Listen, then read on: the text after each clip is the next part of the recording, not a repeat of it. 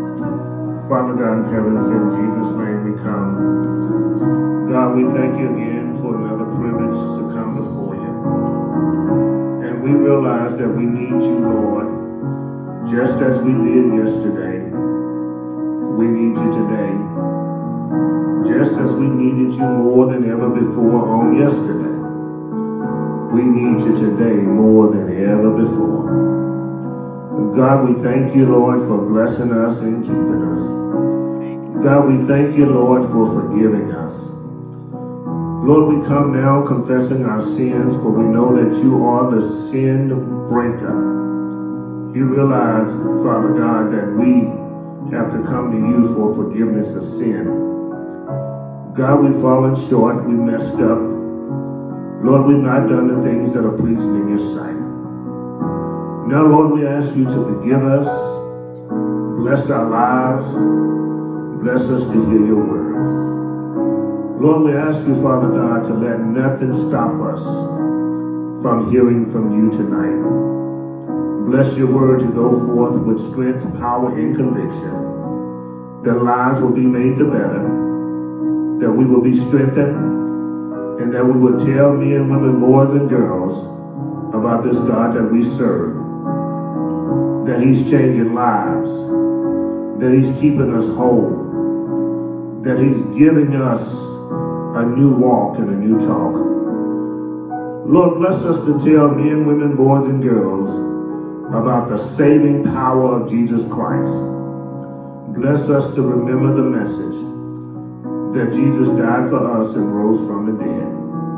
And bless us to deliver that message that he is coming back. And he's coming to get those who have given their lives to him. It's in Jesus' name we pray and we ask it all. Amen and thank God.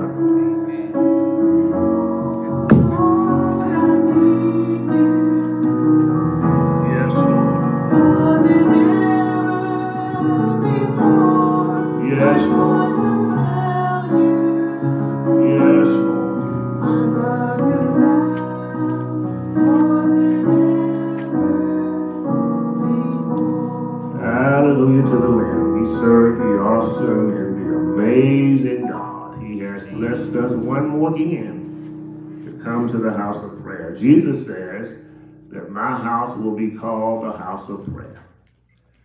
And we ought to pray in his house. Amen. We ought to pray in his house and we ought to make sure that we keep his house the house of prayer. Hallelujah. We're on day three, page 17 in your booklet. We're on day three. Day three. We have some long days in the Experiencing God book, don't? Some long days, a whole seven weeks. We are on day three. Probably, probably eight, nine weeks. We're on day three. But we, we don't want to get in a hurry. We just want to do what God has for us to do and just learn His word. Amen. Last week we talked about the first reality is the fact that God is at work. God is at work all around us. What is our responsibility? To join God where He's at work, right? We look for where God is at work. We seek to see where God is at work. We scan out our atmosphere to see where God is at work. Now, we've been talking about God being at work, so how do we tell when God is at work? How do we tell when He's at work? Is it only when He blesses us? He's at work all the time. Okay, we know He's at work all the time, right? So if He's at work all the time, and we have to join Him where He's already at work, we ought to be looking for Him and see where He's at work. But how do we tell when God is at work? How do we tell where God is at work?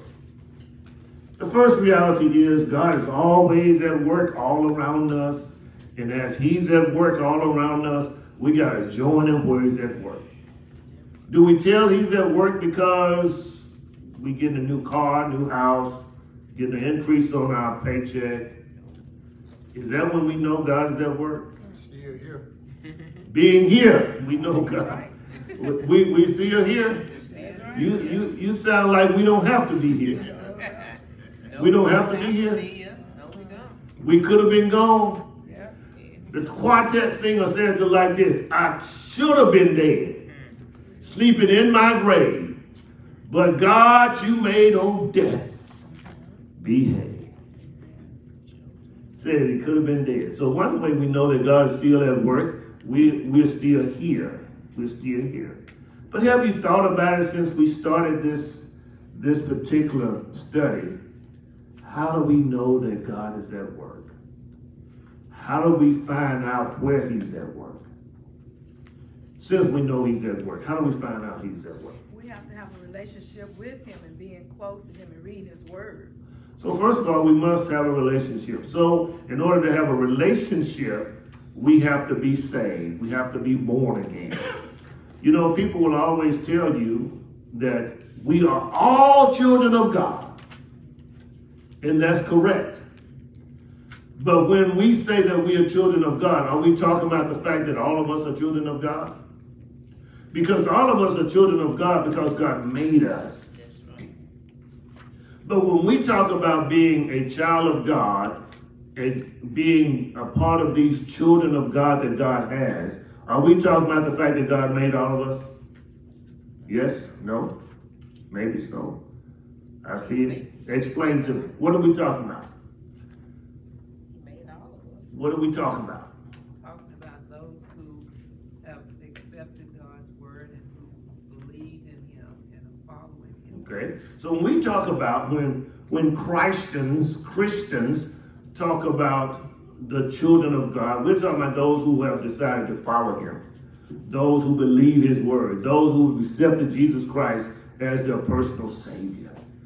That's what we mean. We say that we are the children of God. So we must have a relationship. In order to have a relationship, we must be born again. What are we talking about when we say born again? Believe in, Who's talking? believe in the story. Hmm? Believe in the story. Believing in the story that a train ran into a car on the way here. That's the story? No. What story we believe in? Salvation story. I believe that, uh, that we know that we have learned that God, uh, that Jesus went to the cross, died on Calvary for our sins, and but he rose again. Okay. So Jesus died on the cross for our sins and he rose from the dead. Amen? So that we believe that story, but what do we believe about it? We believe it's that story and that story alone that will get us to heaven. Jesus died once and for all. First Peter says it like this in First Peter chapter 3. He says that Jesus, the only one who died, he died once for all. And Jesus died for everybody. And he only had to die one time. We don't have to keep crucifying Jesus. We have to crucify ourselves, crucify our mindsets, crucify our hearts. Paul says that I die daily to myself, that I will live through Christ Jesus. So we got to look and see where God is at work. Watch to see where God is working. Join him where he's at work. God is always at work around us. That's how we closed out um, day two, unit one. We got to watch to see. Has anybody seen where God is at work lately? Since we began this study, have you begun to look at what God is doing in a more in-depth way? Anybody? And my- Anybody?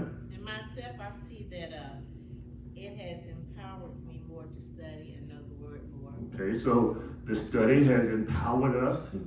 And as we are empowered by the word of God, we understand that God has the last word. One thing that we learned on last week is that we need to be asking God, God, what is your will?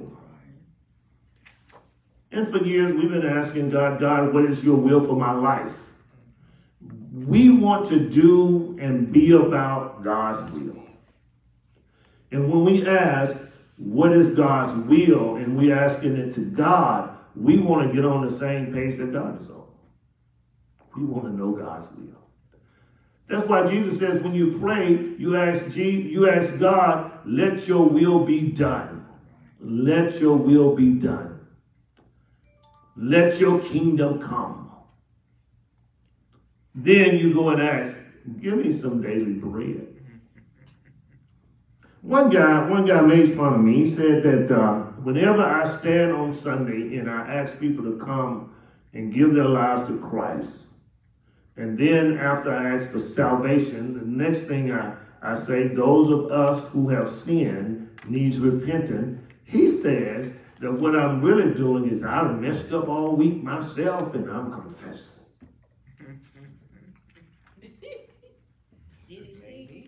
He says that because I messed up, the Holy Spirit has come upon me. And now I'm confessing my sin before the whole congregation. And because I'm confessing my sin before the whole congregation, now I feel convicted. The text declares, Romans 3 and 23, all have sinned. You sin in your thoughts. You sin in your mind. You sin in your conversation. You sin in your deeds. We all sin. And guess what? We're going to have this burden till Jesus shows back up. When Jesus cracks the sky, the Bible teaches that he's coming to get a church without a spot or a wrinkle. And guess what? It's going to be instant that our spots and wrinkles will disappear. Because before he shows up, the second before, the moment before he shows up, we still have spots and wrinkles. Anybody in the room got a spot or a wrinkle? Just one thing, just one little hidden secret that you're gonna keep to yourself. Well, act- actually, I'm. Those are spots and wrinkles. going. And you're gonna have it till Jesus gets back. Day three is where we are now. We're learning to be a servant of God. The entire day is focused on being a servant of God. We have some readers, I don't remember in order that you're supposed to come, but we're going to do the first two paragraphs on page 17, and we're going to do the scriptures and the questions. First two readers are coming. The first reader will take all the scriptures and read it to us, and then the second person will read the printed text on page number 17. We're going to learn how to be a servant of God. We serve, right? We serve on our jobs, we serve in our church, but we want to know how to be a servant of God. And the author oftentimes uses a play on words, and you're going to see that play on words. Like last week, he talked about we need to ask God for God's will, and we've been asking God for God's will for our lives. So you're going to see that happening in day three also. First person is going to read three passages of scripture. The first passage is Philippians chapter 2, verses 5 through 8. The second passage is Matthew chapter 20, verses 26 through 28. And the third passage is John 20 and 21. Philippians two, Come on to that mic. Get closer to it. All right. Philippians two, five through eight.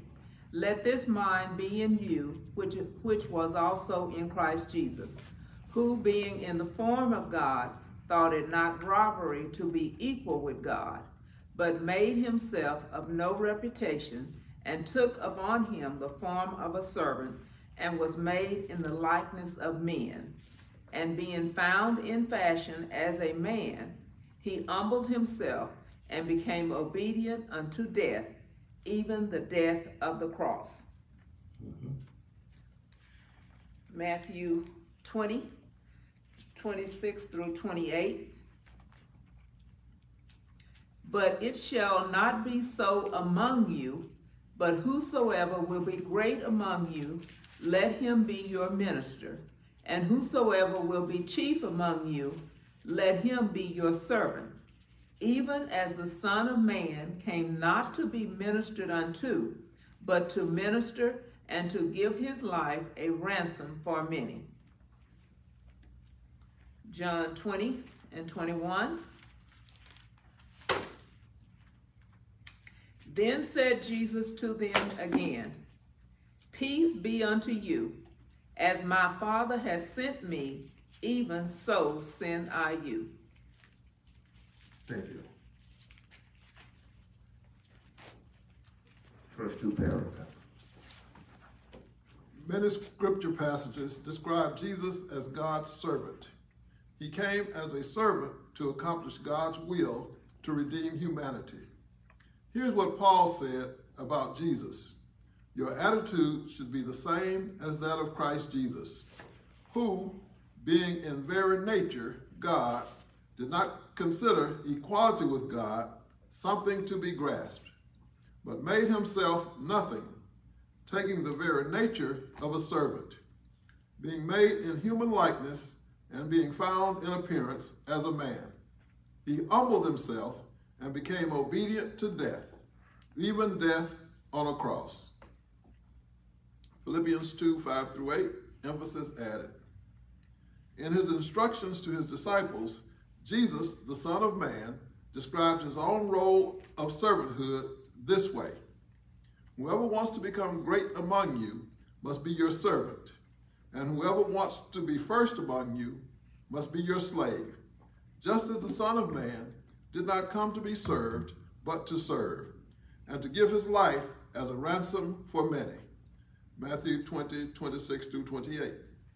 Jesus also identified what our relationship with him should be like. As the Father has sent me, I also send you. John 20 and 21. Thank you. We'll look at the questions one, two, and three on page um, 17.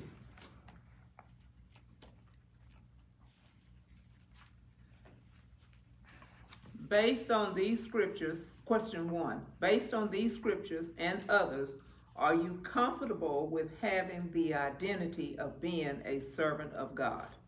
Okay. Yes. Number two. Okay. Okay. Number two, yes.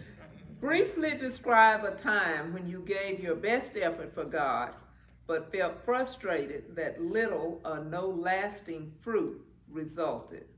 Mm-hmm. Number three, what is a servant?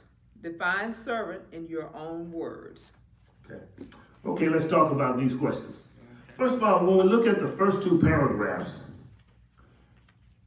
it's related, the first paragraph is related to Philippians chapter 2. And we know Philippians chapter 2 talks about the fact that Jesus thought, in the King James Version, it says, Jesus thought it not robbery that he was not to be to be equal to God. In other words, Jesus was in heaven in his heavenly place. And as he was in heaven, someone had to bridge the gap between God and man. Man was messed up. Noah had already uh, built the ark. The family was saved. Noah and his family was saved on the ark. Why did God destroy the world? Because man was messed up. Because man was sinful. A flood came, lasted 40 days. Noah and his family was, were saved. And guess what? The world went back, back to messing up. When the world started being populated again, guess what happened? Man ran back to sin. Even Noah, the, even Noah, who was spared, got sloppy drunk. I mean, sloppy drunk. I mean, tissy drunk. Yes. So man has this nature. Man has this desire to sin. And those who say they don't have a desire, that's sin there. Those who look down at other folk, that's sin there. So man has this ongoing desire to sin because we have a sin nature, regardless of how saved you are, regardless of how many church services you attend, regardless of how often you go to BTU. Do they have those anymore? Regardless of how many Bible studies you go to, how many Sunday school class, regardless if you are a teacher or a pupil, we have sin nature in us. What that says is our natural man loves to sin. We don't want to admit it. How many of you gone a place, let's just say a wedding reception, and they played all Christian music in the church service. But when you get to the reception, they, the, the, the, the DJ let the pastors know when it's time to go. He doesn't have to say a word. He just put on, he, he, he eases into it. He, he goes from, from Christian music, it always starts with Christian music and a prayer. The preacher there, his wife is there, his family is there. It's always a good time. They, about time they have the first dance, the beat changes. And I, there's nothing wrong with music. You ought to be, be so in tune with music that you can know what you need to pat your foot to and so, what you don't need to pat. Now it's hard to determine in the 21st century what music you listen to. You have to put it on slow, like a 33. How many of y'all know what a 33 album is? One. Two. How many of y'all know what a 45 is?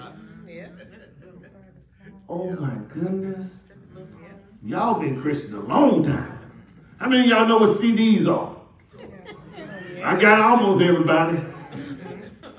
How many of y'all know what a jump drive is? An SD card.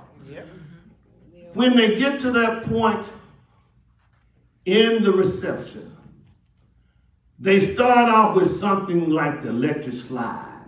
You know it's getting ready to get wild. You hear the DJ say, oh, oh. And the moment he said, oh, people start coming out the woodwork. It doesn't matter who they're talking to. It doesn't matter what the conversation is about. The DJ, the, the, the record says, oh. I mean, people start, even Sister Davis patting her feet in there. oh. It's about to get live. It's about to get wild. And, and guess what? Every now and then you will catch yourself patting your feet. Because we are rhythm, rhythm, people of rhythm, right? And because we are people of rhythm, we like the beat, we like the rhythm. So when just because you are saved doesn't mean that you don't enjoy the rhythm anymore. I didn't forget what I used to do. I just had to stop doing it. Yes? So as a, as a servant of God, Jesus humbled himself to be a servant. We talked about the hypostatic union. Brother Whitlock, what's the hypostatic union? Hypostatic union.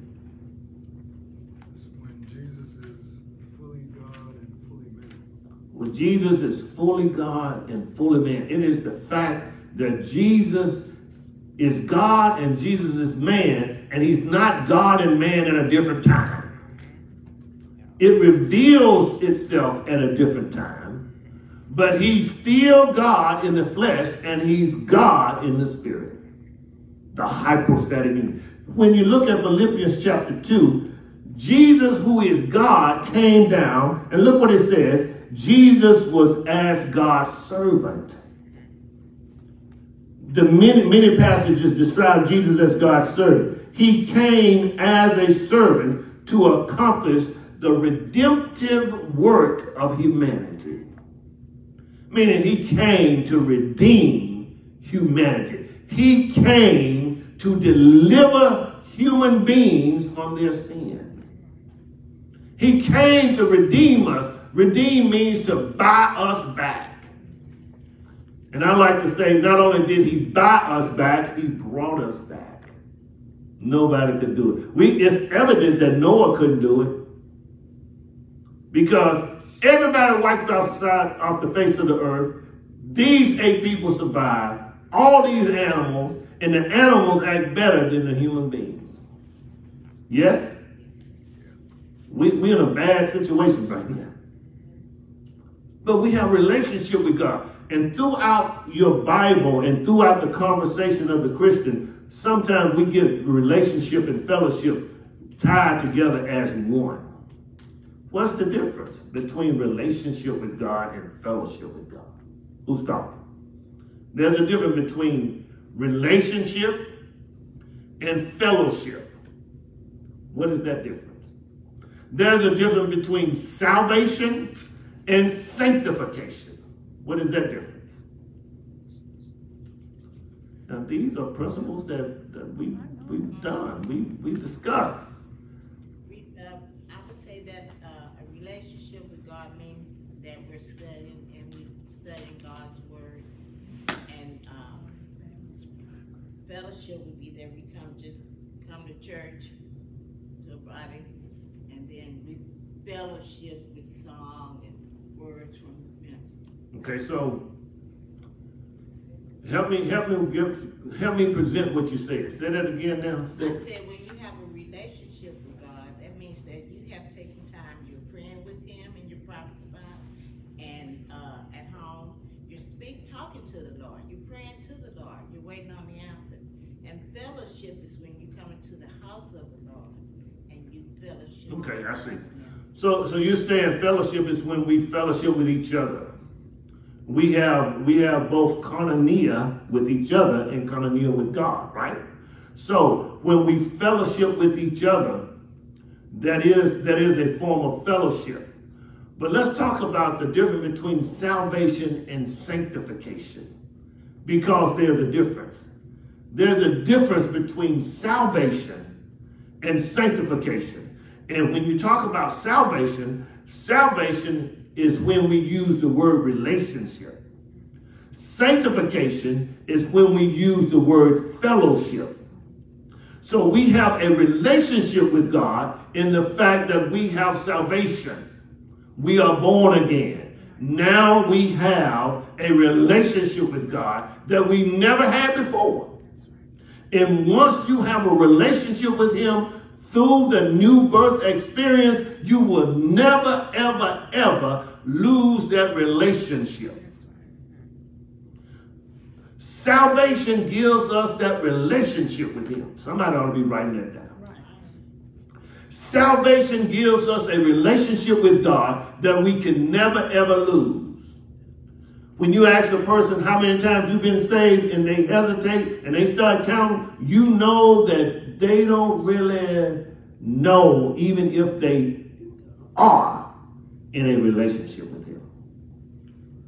Questions or comments? Let's just talk about relationship right now. Salvation brings about a relationship with God that can never be broken. Write the scripture down. John chapter 10, verses 24 through 30. Jesus is talking. John chapter 10, verses 24 through 30. Jesus is talking to the Pharisees. The Pharisees are saying to Jesus, Jesus, these people obey you. And Jesus saying, you know why? Because my sheep hears my voice and a stranger they won't follow. In other words, they follow me because they are saved. Because they are born again. My sheep hear my voice. My sheep hear my voice. My sheep, plural, hear my voice. And my sheep, plural, will not follow anybody else. Yes? He goes on to say, and the reason why others don't hear me is because they're not of me. And then when he looks in verse 24 through 30, he goes on to talk about not only do they hear my voice, they follow me. And he says, they are in my hand. And no one can snatch them out of my hand. They have a relationship with me. And because they have a relationship with me, they're in the palm of my hand and the devil in hell cannot take them away from me. Doing prison ministry, did you know brothers study a lot of stuff in prison? In prison ministry, one of the famous questions was that, well, can I give my relationship back? Can I give my salvation back? Well, first of all, you didn't do anything to accomplish it. You didn't do anything to receive it. You trusted what Jesus has already put in you. You trusted what God has already placed in you. Romans chapter 10 says it like this God has given to every man a measure of faith. Ephesians chapter 2, verses 8 and 9 says, We are saved by, by grace through faith and not of ourselves. We can't brag about it. And because we have grace, that tells me we don't deserve it. And he says by faith or through faith, it tells me the same faith that Paul talks about in Romans chapter 10. We didn't even get that faith on our own. We didn't develop it on our own. It was a gift from God. So even the faith we have, we didn't give it to ourselves. We didn't work for it. So when we have a relationship, Jesus says in John chapter 10, Jesus says, they cannot be snatched out of my hand. Amen. We're in a relationship. Now I know on social media they ask about your relationship. You see all all kinds of things. It's complicated is one of them. Single is another. I'm in a relationship is another. Even divorce is one that you can check. Or married is one you can check. But when you're in a relationship with God, you are tied to God and God is tied to you. And you will never lose that tie. That is your salvation. That is your relationship that you have with God that you will never lose. Questions or comments? So when you have that relationship, that's when you accept Christ as your Savior and ask Him to come into your heart. Once you accept Christ as your Savior, He comes into your heart and you have a relationship. Right. And guess what? God does not two time you. Everybody know what two time is? Sister Brown, you had your hand up. I didn't, but, You, you had that look on your face. you were thinking about saying something about relationship and salvation. well, I look at relationship as being long-term, uh, but then when you're talking about fellowship, that being short-term. But my question is on this, you have it and you never lose it. Mm-hmm. What about those that backslide? Well, that's the next point I want to make. When you have a relationship, I, I, my conviction is when you have a relationship, you there from now on.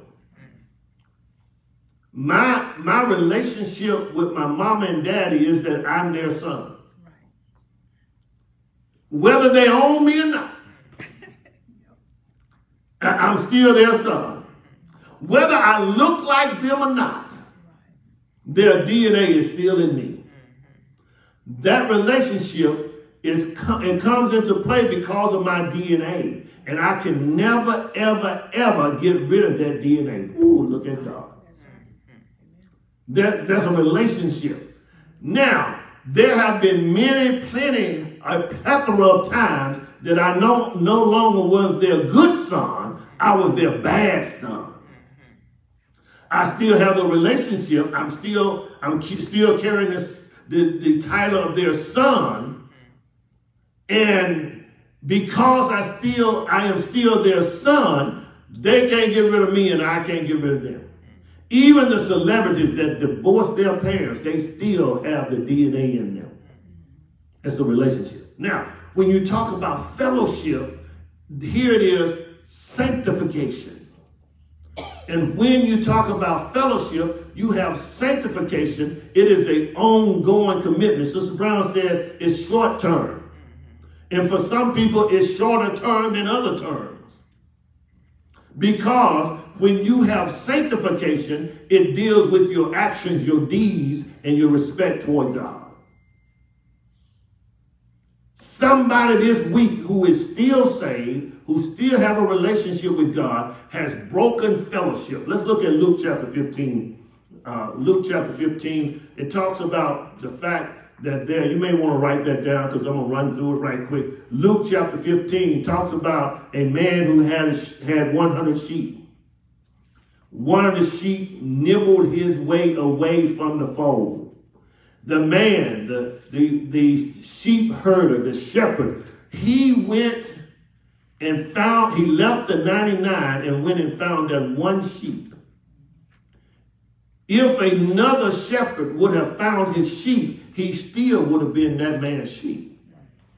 Another shepherd would have just uh, secured that man's sheep, but it still would have been his sheep. He still had his brand on. I grew up on a plantation. The man's name was Wayne, Wayne, Wayne Kane. We call him Wayne Kane. It really was Wayne King. You know, in the country, you make up names. You make them sound like you talk. His name was Wayne King. WK.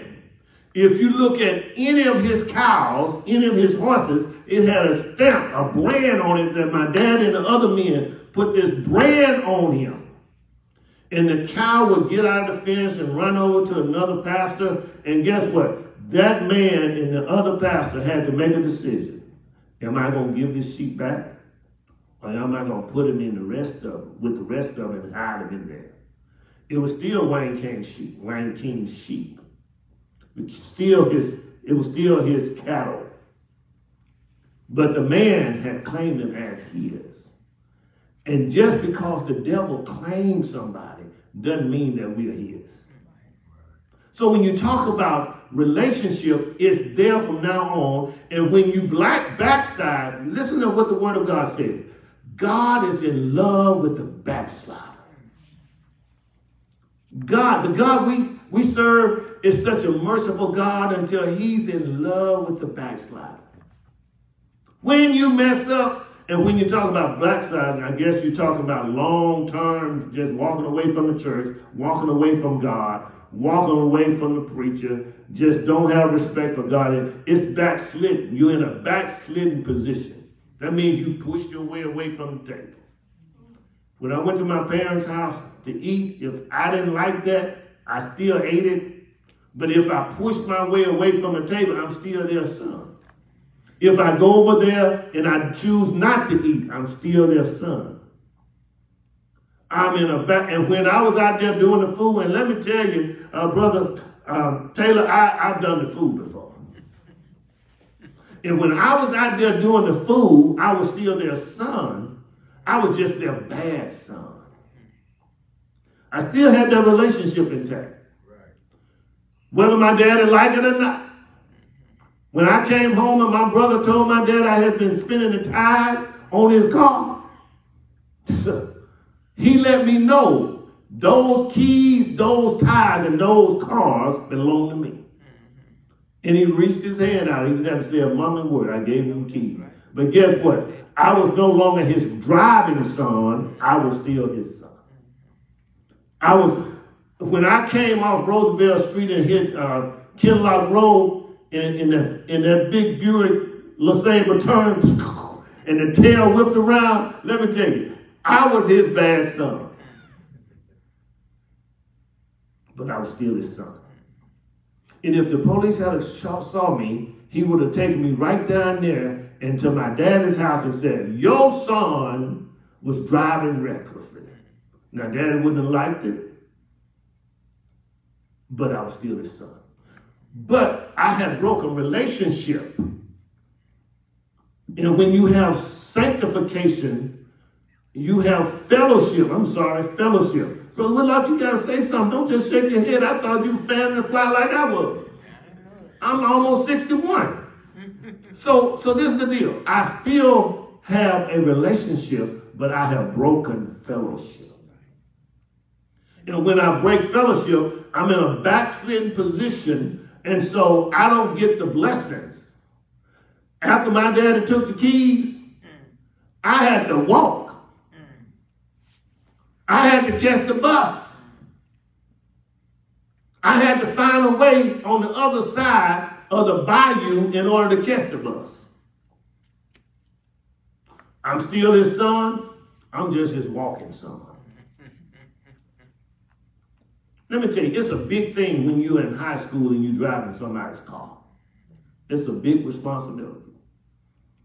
And most of us could not handle it. And then when I got to be a senior, I didn't have to show up until three hours after school started, and I left two hours before school was out. But when daddy took those keys, I had to hitchhike me a ride to get back home. I broke fellowship. My sanctification wasn't intact. I had put myself in a backslidden position.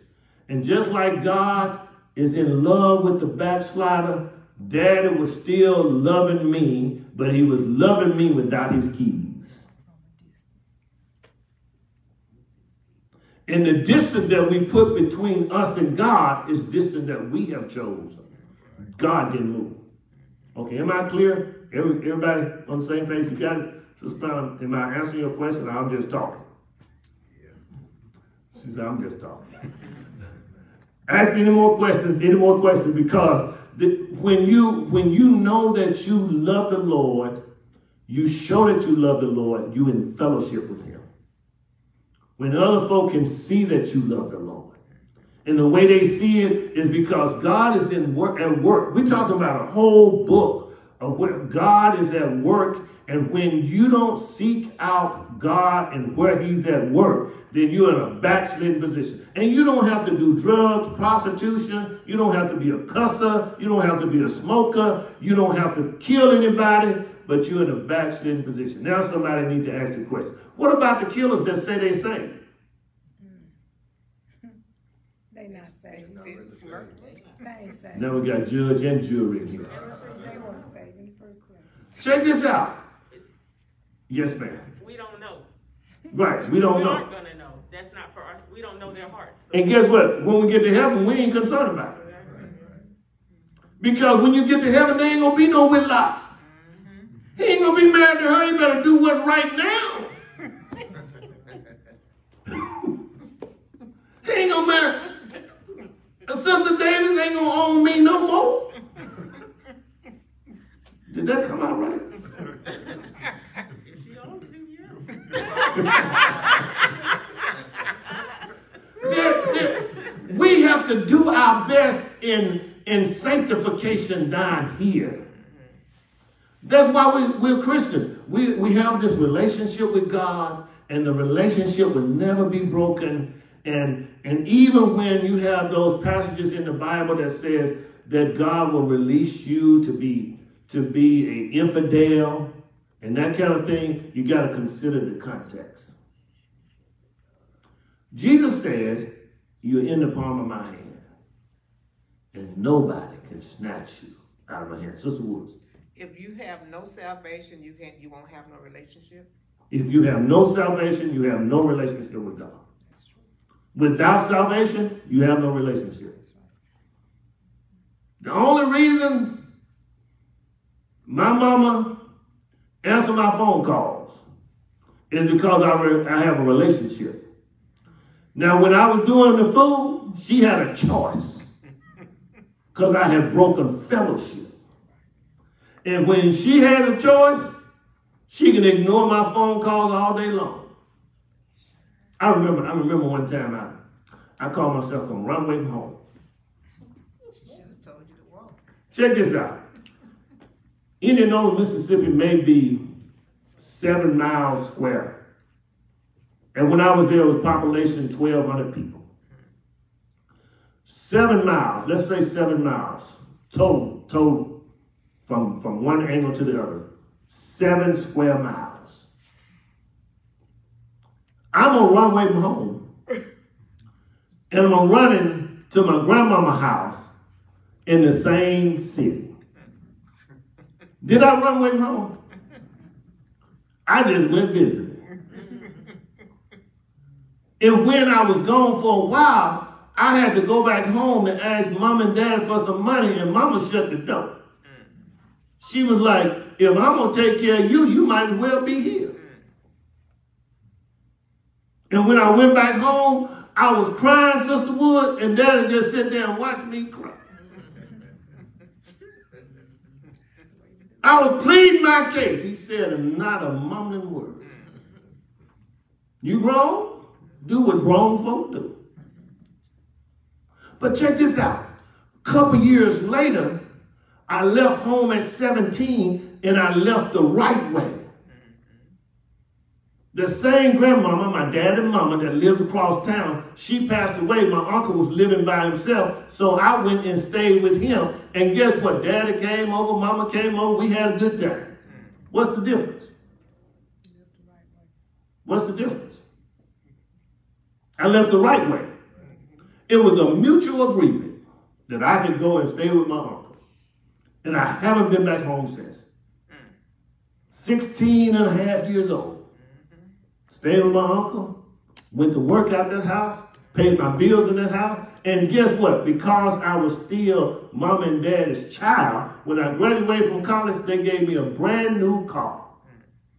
A 1978 Ford Zephyr in 1983.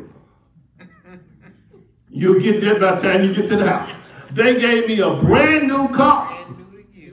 A 1978 Ford Zephyr. They don't even make them anymore. And the year was 1983. Daddy, the same daddy that watched me bawl and cry and said not a mumbling word, I maintained my relationship. I had broken fellowship. When I left that house that time, I broke fellowship.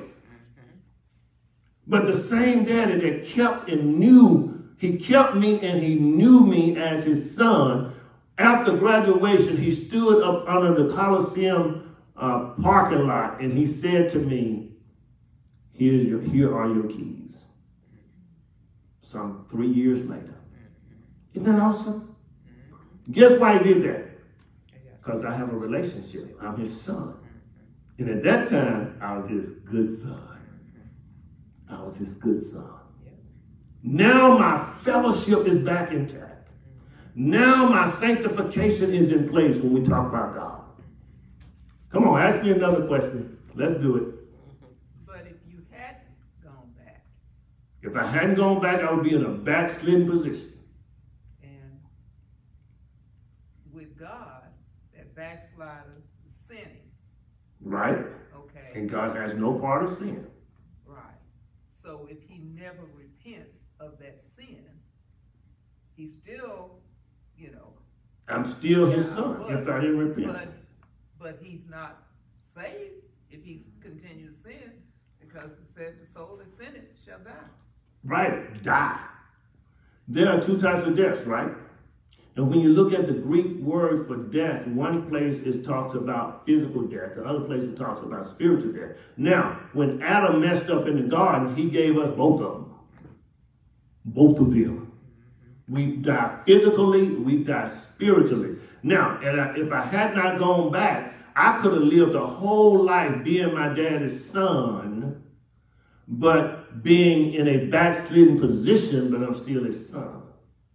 I could have lived my whole life without a loving relationship from my daddy. I would have been in torture because I didn't have my daddy's blessings. As long as I'm in a backslidden position, and check this out, I wouldn't have had his blessing, and I would have felt it.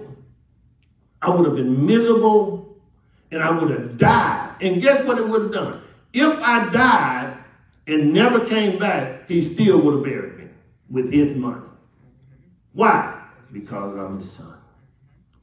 And I, when it comes to God, if I'm saved, if I'm born again, I mean, I am for sure born again. I received Jesus. I trust him as my Savior. I'm in a backslidden position. What happens when I die, I still go to heaven, but my rewards are cut short. That's the homework assignment for week after next. Homework assignment. Homework assignment is how do we get our rewards cut? And is it true? You know, is what I'm saying is true. Do we get our rewards cut based on our deeds? Because we're talking about deeds, right? When we're in backslidden position, we're not doing the right thing. Our deeds. Are we going to be judged by our deeds? Second part of the homework assignment, because you got two weeks to do it. Second part, what is the difference? Who goes before the judgment seat of Christ and who goes before the great white throne? Now I want y'all to do this homework and bring it back. You got two weeks to do it. Who goes before the judgment seat of Christ, known as the Bema seat? Who goes before the judgment seat of Christ? And who goes before the great white throne? Because all of us are going to be judged, right? We're going to be judged based on the things done in this life.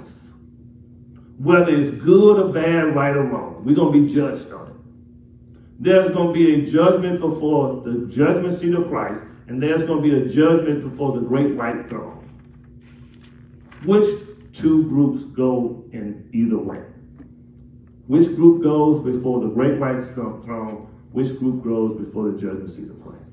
So if I die, I'm still my daddy's child. I still have a relationship. If I die, I'm still God's child. I still go to heaven if I die.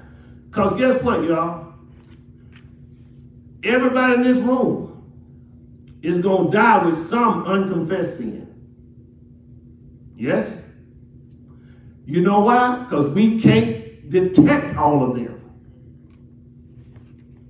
Even the thoughts in your mind. We're going to die with something messed up. You know why? The second reason, because we don't know when we're going to die.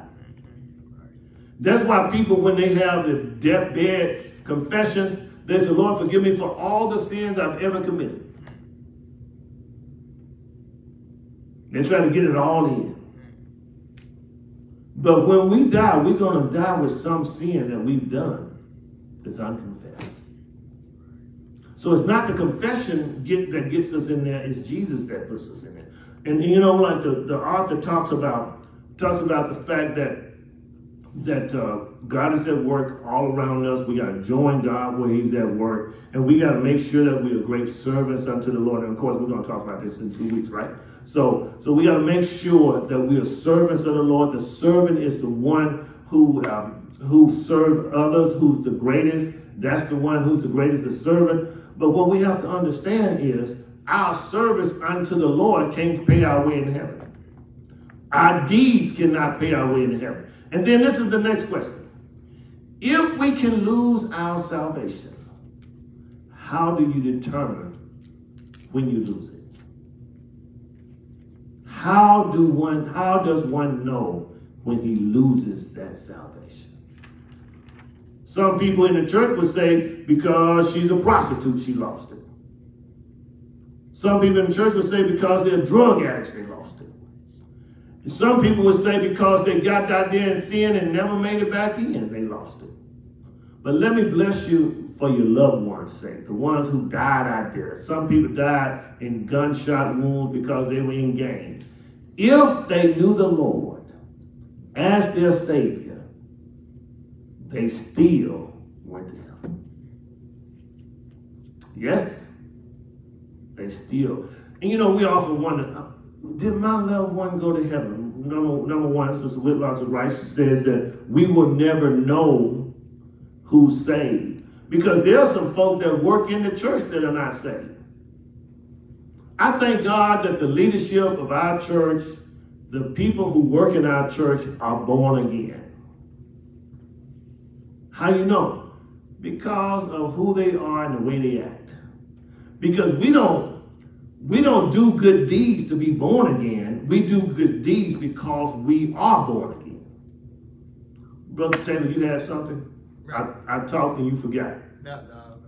Okay, so so we have to understand that that God sets the standard. We don't. Because if we would set the standard, if somebody killed our loved one, that person wouldn't go to heaven. We would make sure that that person didn't go to heaven. Have you noticed some parents, they go every time a person gets up for parole that killed one of their children, they go to court and testify against that person for 20 years. For 20 years, they go over and over again. Make sure my responsibility to make sure he rots in hell and he rots in jail. But the fact of the matter is, if he's saved, Jeffrey Dahmer went to heaven. If he's saved, Manson go to heaven. Charles Manson. I know it's not the way we see it, but God is the final judge. Questions? Yes, ma'am. Your, one, your first question was, how do we get our what reward? How, you said something about the. How do we gain or we miss our rewards? Now, I want homework assignments turn in two weeks from now. Homework assignments. Two weeks from now, I want those assignments in, or y'all all gonna get L's. I want them in. Oh,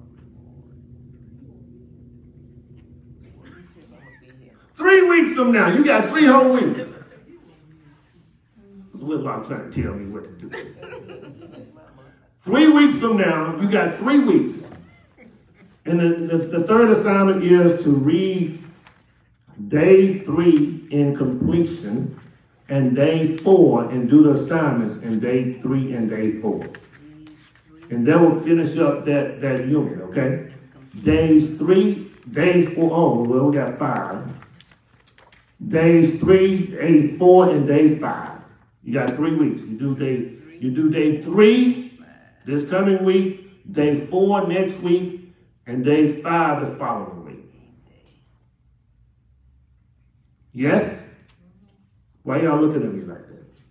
Uh, Question, Question.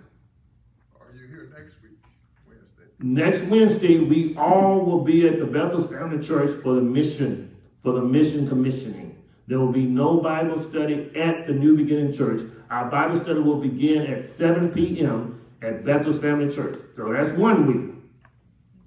Well, that's on the eighth, That's the 10th, April the 10th. oh, the tenth. April 10th.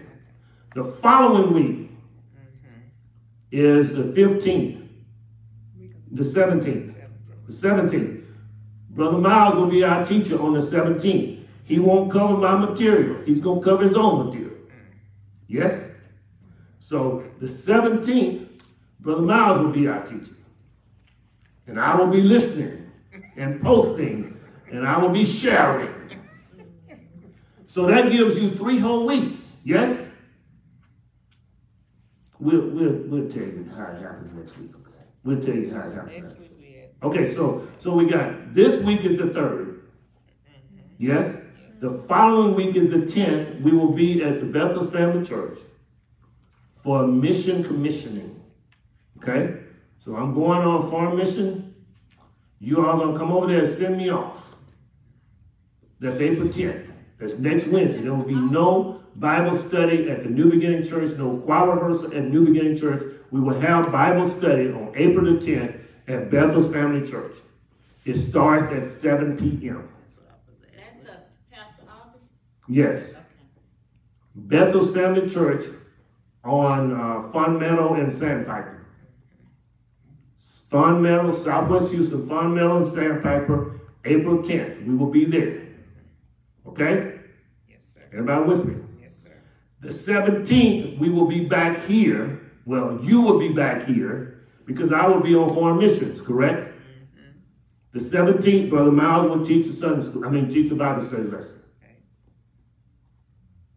Okay. The following week, if my math is correct, the 21st, Four. 20, Twenty-fourth. 24th, we're going to start day three, unit one. Back here at the New Beginning Church, experiencing God, page 17. Day three, unit one, page 17, and you're going to have all that studied up all the way to page number 29. So we're gonna start on day three. Because you're going to continue your days during these weeks that, we are, that I'm not here. So you can mark in your book when you're going to study that area, okay? So where we're going to be next week, April 10th, where we're going to be? Bethel's family. Bethel's Family Church for the commissioning and Bible study of the missionaries, the farm missionaries, I'm included. You're going to be there to make sure that you send me off in prayer, praise, worship at the Bethel's Family Church Bible study. Okay. The following week is the 17th, yes? Yes. Brother Miles will be here. You will be here at the New Beginning Church, Yes, sir. and you will be in Bible study at the New Beginning Church at 7:15. If you're not in your seat at 7:15, you late, Yes, sir. and you owe the church ten dollars if you're late. I'd rather you get here early so we can make assignments. Okay? Okay. So the 24th, I'll be back and we're gonna start on day three of unit one. Unit three. Unit one. Page Everybody with me? Questions or comments? Am I wrong? Am I delusional? That might- Everybody's good. What are the three assignments you have? Three of- What's the first assignment? How do we get our rewards? Okay. Based on our deeds. How do we receive our rewards or how are our rewards cut off? As Christians, how do we get our rewards? How does anybody get their rewards cut? What's the second assignment? Or how do you gain them? What's the second assignment? who goes before the judgment seat of Christ? Who goes before the judgment seat of Christ and who goes before the great white throne? Who goes before the judgment seat of Christ, the Bema seat, and who goes before the great white throne? And you cannot ask Pastor Watson.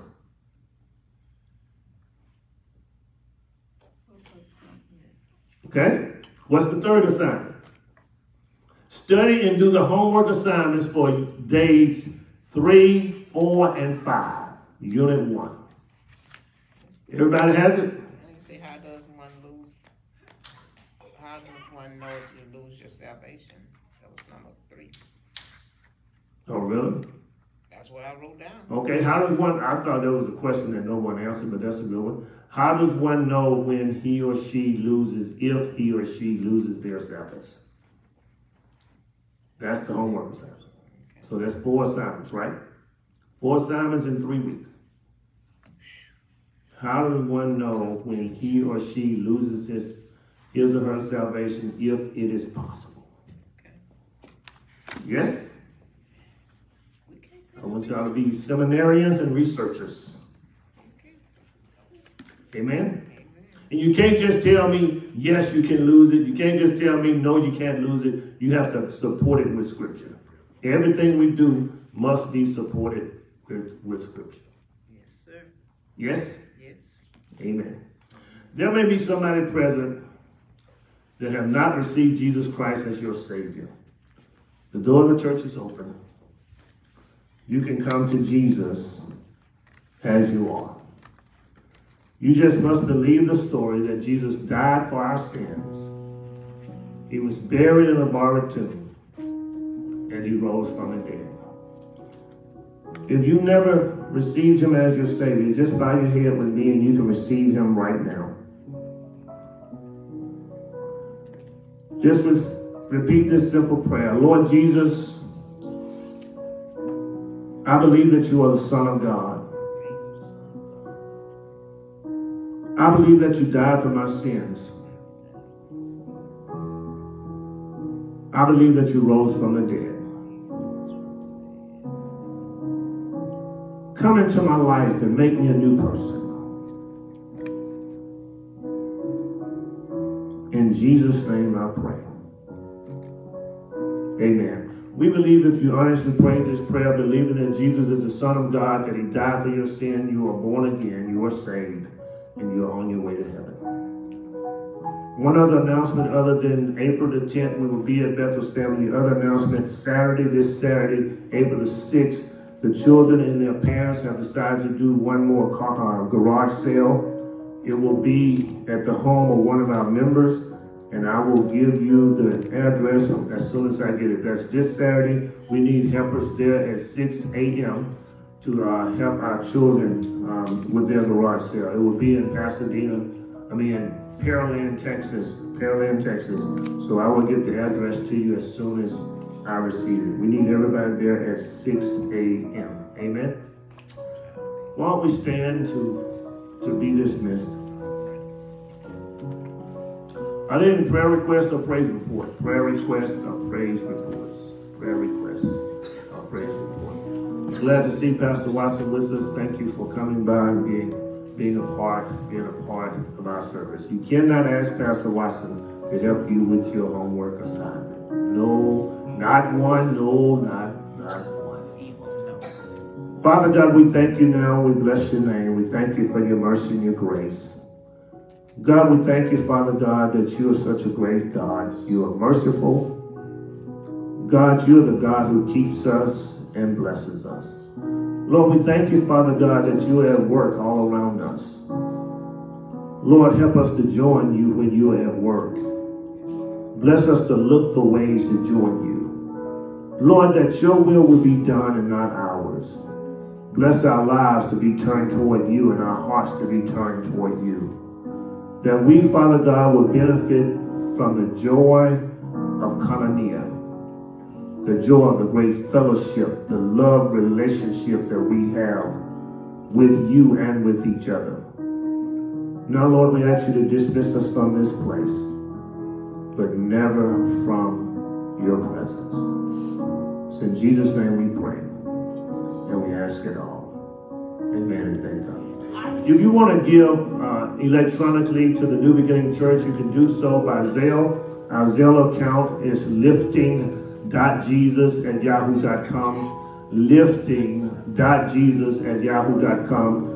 Or you can give by mailing in your gifts to P.O. Box 503, Missouri City, Texas 77459. That is P.O. Box 503, Missouri City, Texas 77459. Thank you for joining us. Thank you for being a part of our service. God bless you and keep you.